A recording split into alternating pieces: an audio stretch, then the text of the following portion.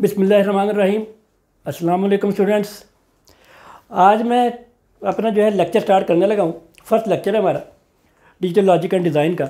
और इसके अंदर हम देखेंगे कि जो नंबर सिस्टम है वो क्या होता है। तो आज हम स्टार्ट करने जा रहे हैं नंबर सिस्टम।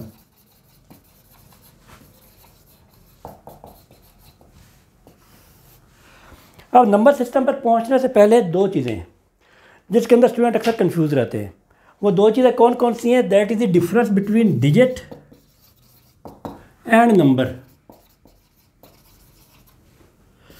कि ये डिजिट और नंबर के दरमियान डिफरेंस होता क्या है?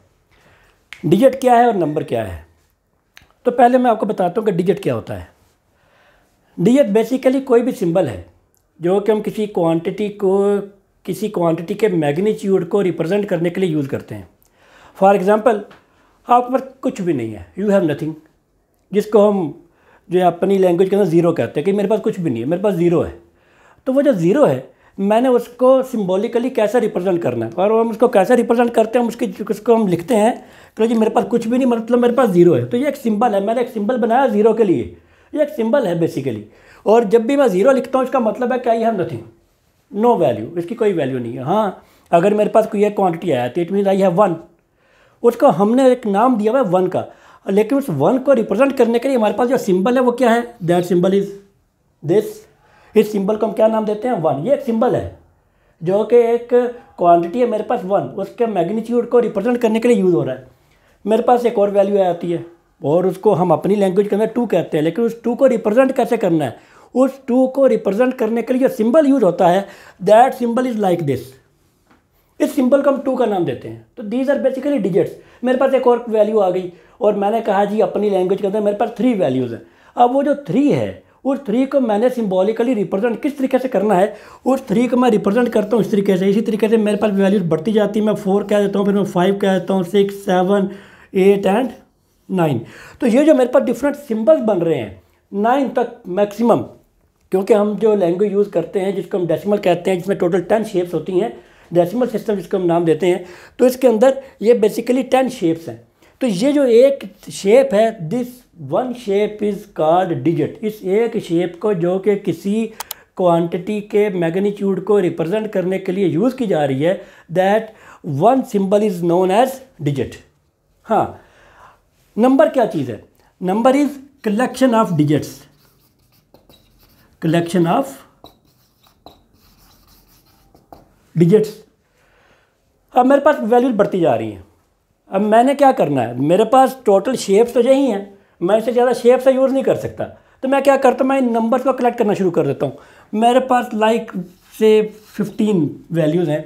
तो मेरे पास मैं उसको लिखता हूँ वन फाइव मैंने इसके लिए दो डिजिट यूज़ किए हैं। एक डिजिट है वन और दूसरा डिजिट है फाइव और ये मिलकर क्या बनता है? फिफ्टीन बनता है। अब इस फिफ्टीन के लिए मैंने दो डिजिट यूज़ की, मैंने मतलब कलेक्शन की डिजिट्स की।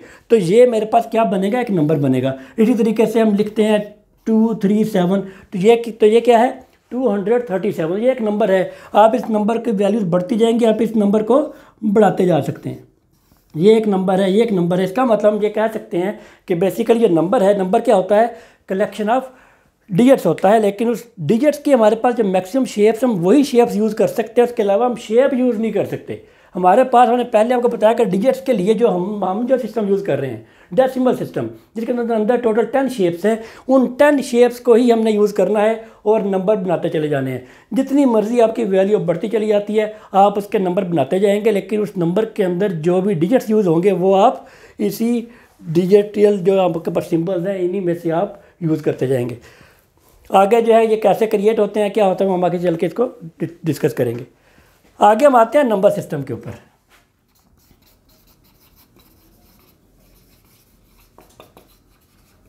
नंबर सिस्टम अब ये नंबर सिस्टम क्या है? नंबर सिस्टम एक सिस्टम है, जिसके अंदर हम नंबर्स को एक्सप्रेस करना सीखते हैं। कि नंबर्स को एक्सप्रेस कैसे किया जाता है प्लस ये सीखते हैं कि उन नंबर को डील कैसे किया जाता है। मतलब नंबर्स की हमने एडिशन कैसे करनी है सब्ट्रैक्शन कैसे करनी है मल्टीप्लिकेशन कैसे करनी है डिवीज़न कैसे करनी है, किसी एक नंबर सिस्टम से दूसरे सिस्टम में कन्वर्ट कैसे होना है, वगैरह वगैरह। ये सारी सारी चीज़ें हम कहाँ पर अंडरस्टैंड करते हैं? नंबर सिस्टम के अंदर। लेकिन नंबर सिस्टम एक बहुत बड़ी एक ब्रांच है।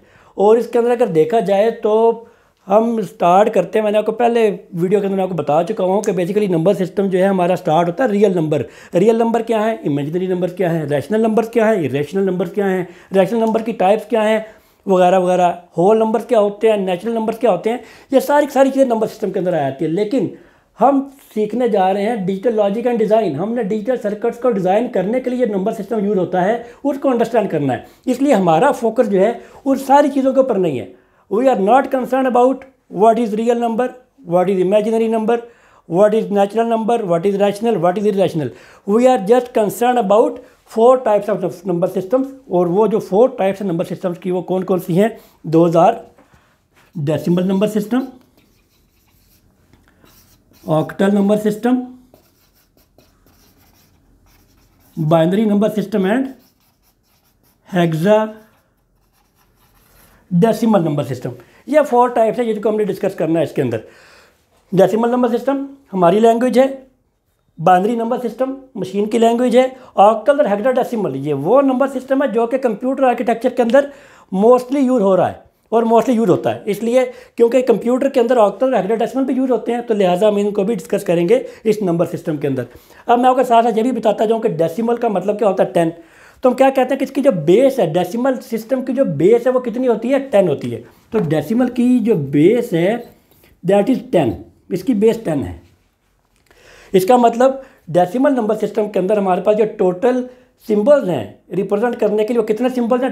टेन सिंबल्स हैं ज़ीरो टू नाइन जैसा कि मैंने पहले कहा था डिजिट पढ़ाते हुए कि हम टोटल जो हम लैंग्वेज यूज़ करते हैं या नंबर सिस्टम यूज़ करते हैं that is decimal number system और उसके अंदर टेन शेप्स होती हैं और वो टेन शेप्स ये वाली हैं। तो इसलिए ये जो बेस टेन है, ये क्या रिप्रेजेंट कर रही है? बेस टेन सिर्फ़ ये रिप्रेजेंट कर रही है कि ये एक ऐसा सिस्टम है जिसके अंदर आपके पास टेन शेप्स है किसी भी नंबर को रिप्रेजेंट करने के लिए। इसके अलावा इस बेस का कोई मतलब नहीं है। ऑक्टल ऑक्टल नंबर सिस्टम की ऑक्टा का मतलब क्या होता है? एट तो ऑक्टल नंबर सिस्टम की जो बेस है वो कितनी है? एट इसका मतलब इसके अंदर हम कितनी शेप्स यूज़ करेंगे किसी भी नंबर को रिप्रेजेंट करने के लिए? एट शेप्स वो शेप्स कहाँ से लेकर कहाँ तक होंगी? ज़ीरो से लेकर सेवन तक. डेसिमल नंबर सिस्टम में जो टोटल शेप्स थी, हमारे पास वो ज़ीरो से लेकर नाइन तक।